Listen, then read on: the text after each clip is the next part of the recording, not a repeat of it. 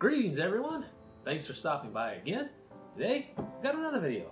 We're discussing food preparations for people with dietary restrictions. And we have Eva here to taste test a gluten-free meal option that's freeze-dried and good for 20 plus years. In this case, it's by Backpacker's Pantry. This flavor is Louisiana red beans and rice. We're gonna put it together. Eva's gonna try it, and then we're gonna talk about other things while we let it sit. Now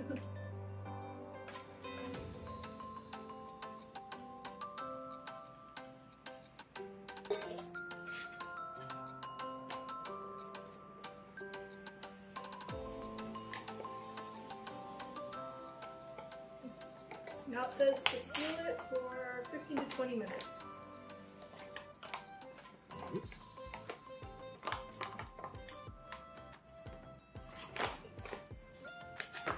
Okay, Eva, tell us a bit about the fun you have with food.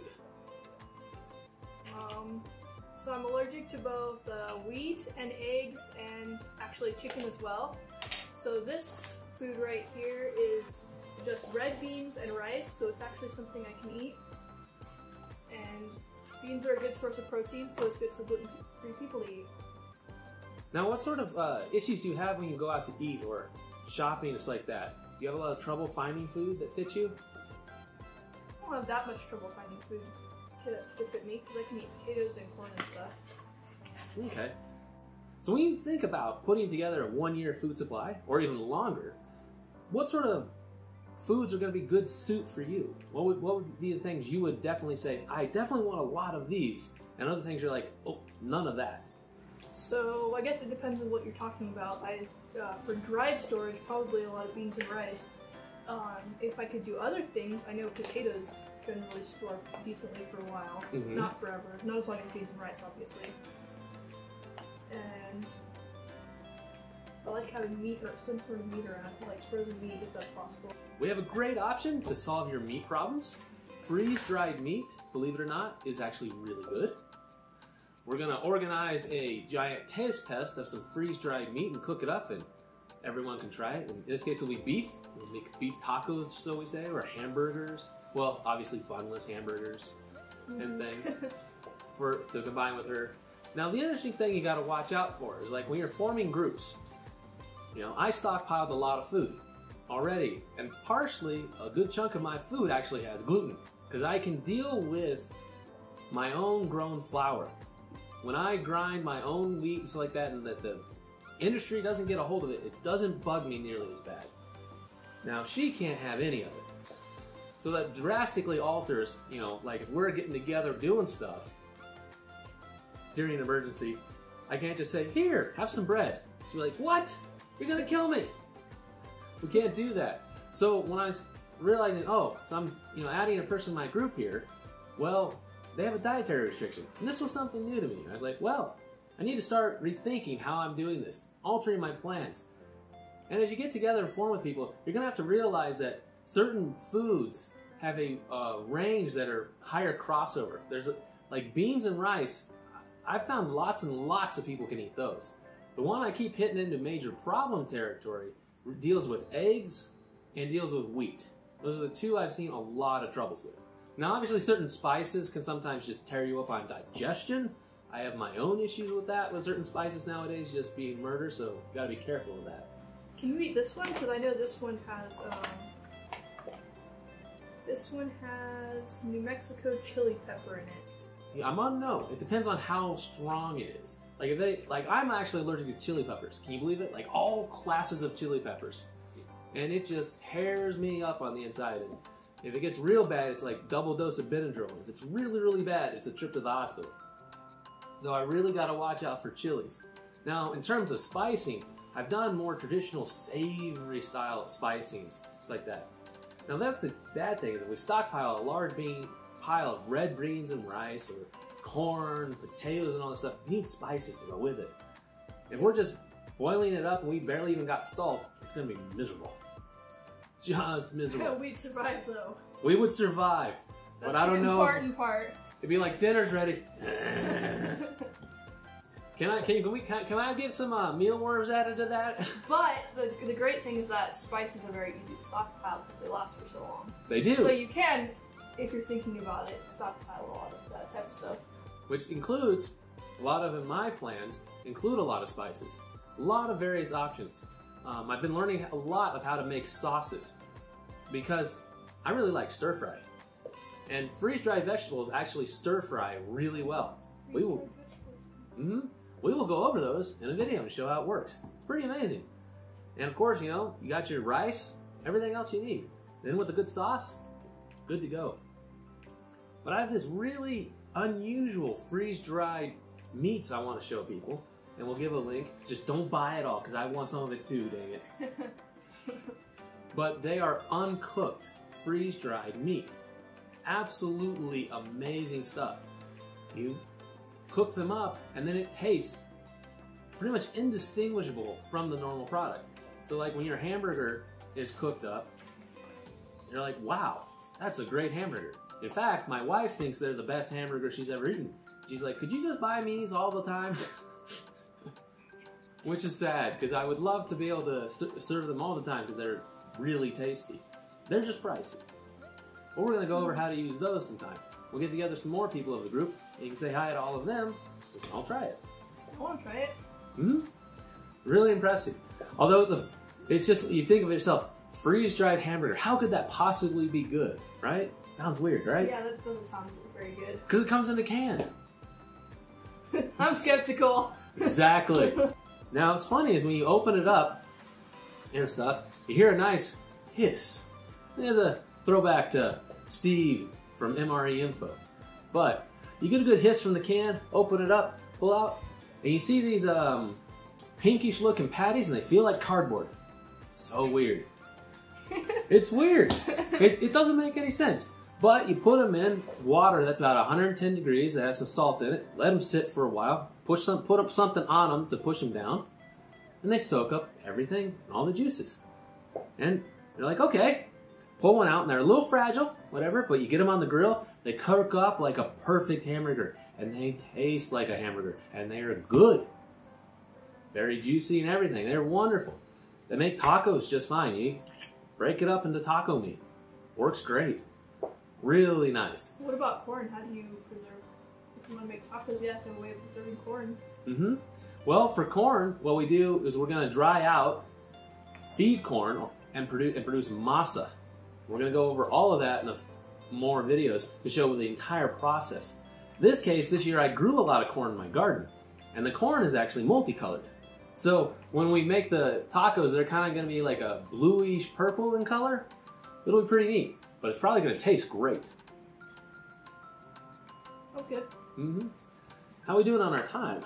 I don't know. I wasn't watching the time. Oh, okay, we're making it there. Seven minutes and 24 seconds left. Now, it's funny is I've seen another review on this, and the other and the people really liked it. They really liked it. It looks good.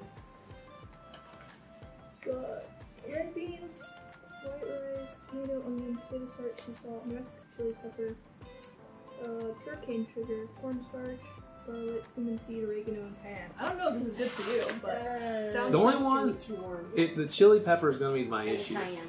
What's neat about this company, Backpackers Pantry, is they have a lot of gluten-free options. I was really impressed by that. The other thing, though, is for someone like Eva here, who has additional restrictions, she'll have to just carefully check in that. Yeah.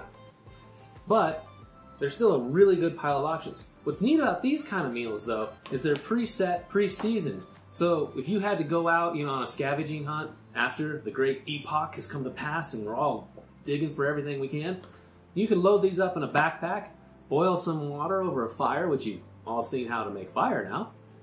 Get it set. Your meal's all set and ready. The nice thing is, you're not going to make a ton of the cooking scent.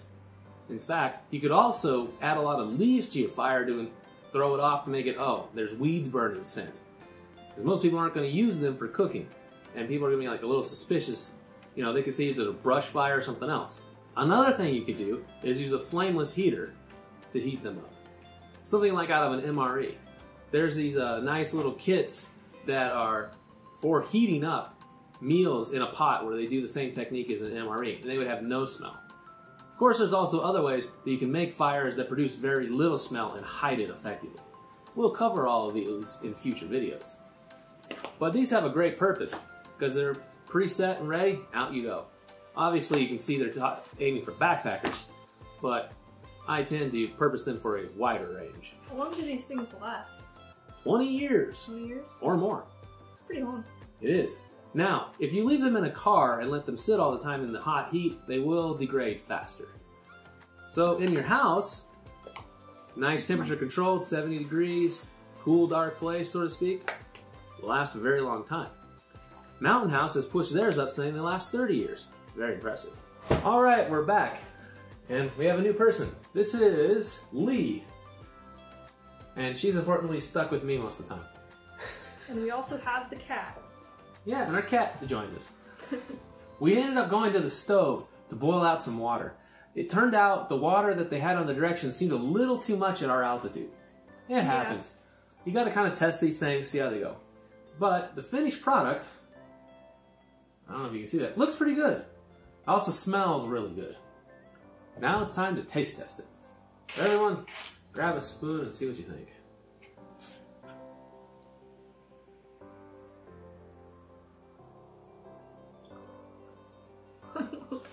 Temperature hot. hmm, That's pretty good.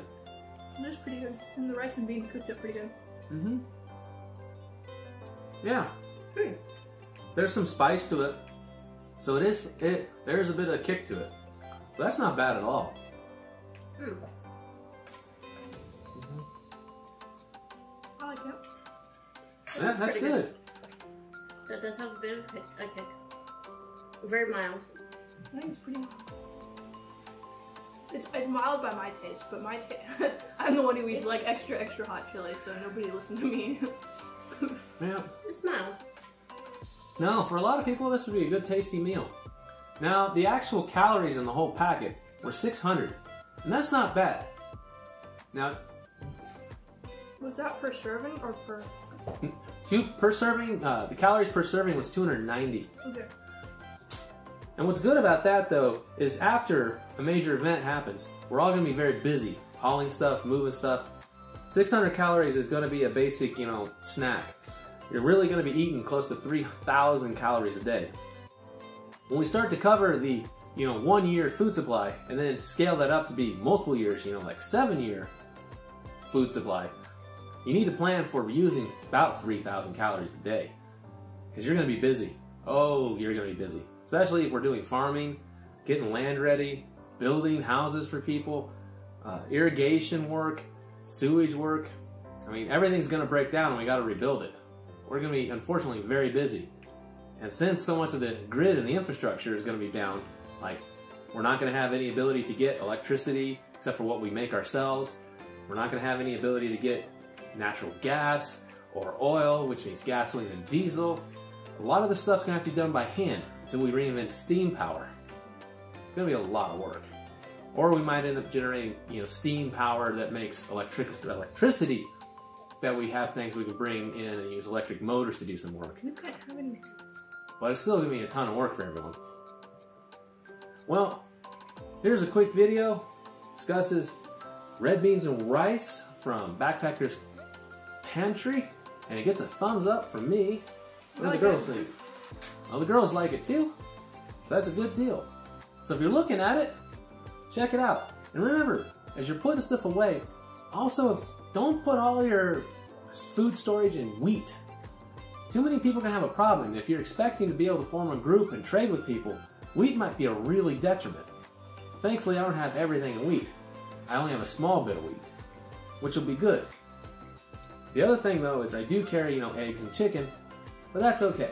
A lot of that stuff doesn't have a huge crossover, and they're fairly less sensitive. Except for, you know, Eva here, she has a sensitivity to it. So we have to adjust that. And obviously, as we help put together the one year food supply for her, everything has to be adjusted. Once we get started on the one year food supply, we'll cover it with her and show here's a map and here's what you do. It takes into account her dietary restrictions. Hope everyone got to learn something. Hope it was a little interesting. This is Reed out for now. And the girls say bye too. Bye.